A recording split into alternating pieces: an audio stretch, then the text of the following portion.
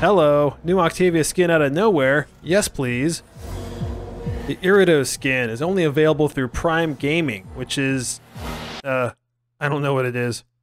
But it comes with Amazon Prime, so maybe you've got a good friend with Prime, or you're like me and you haven't burned your 30 day trial yet. Now's the time. Linking accounts is pretty easy. Log into Warframe.com, find the Prime Gaming link, and follow the instructions. There's other stuff besides the Octavia skin coming. There's an armor set, a skin for the Ogris, looks like an affinity booster, and. Uh oh.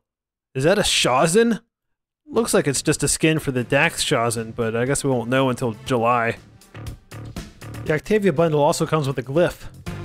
It's a reskinned Octavian action glyph, and instead of a Tenora, it has an Ogris. Hey, my loadout screen always appreciates more Octavia glyphs. Now, okay, well, let's give this Octavia skin a whirl. Now, which Octavia to put it on? Wait a minute, is that a new one? yep, it came bundled with a brand new original recipe Octavia. Okay then, Octavia number 14 it is. Gotta get that Daft Punk helmet. And the skin. Neat. So clearly Iridos is short for iridescence. Look it up. That's basically anything that changes color depending on the angle you're viewing it at. Let's see if I can do my usual color scheme.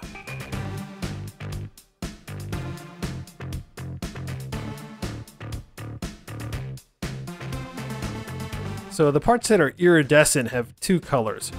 Secondary controls the base color, and the color it changes to when you're viewing it straight on is controlled by the accents.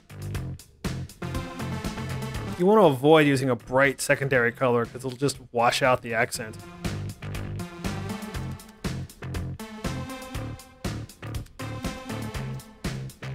This is surprisingly hard to get right.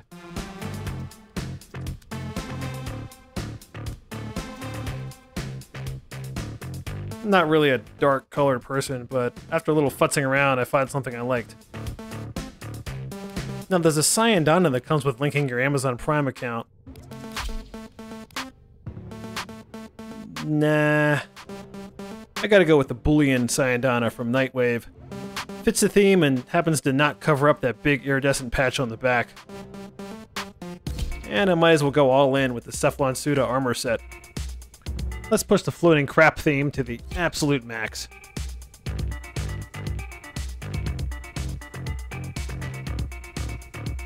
If it's worth doing, it's worth overdoing. FYI, while most skins allow you to layer the prime details on top, the Iridos skin does not have that option. Just as well, the prime details would cover up all the interesting parts. Alright, let's complete the ensemble. Until that Ogris skin comes out, I gotta give the primary slot to a Simulor. And for a secondary, I like the Tenet Diplos. Diplos? Diplos? Whatever. I'm having a hard time coming up with a melee with good floaty stuff. War? Nah. Broken War? Nah. Give your Core? Nah. Kinda sucks. Oh wait, what about that new Archon polearm? Corum. Corum? Corum? Whatever. Yeah, that's doing it for me. I got some Umbral Formas to burn, so let's slap together a build.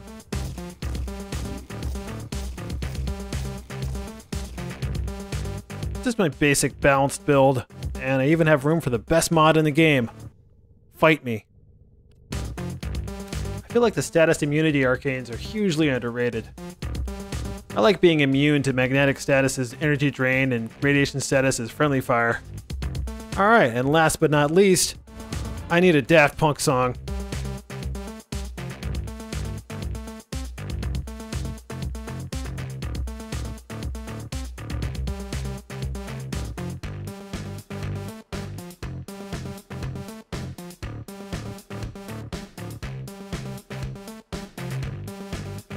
That'll work.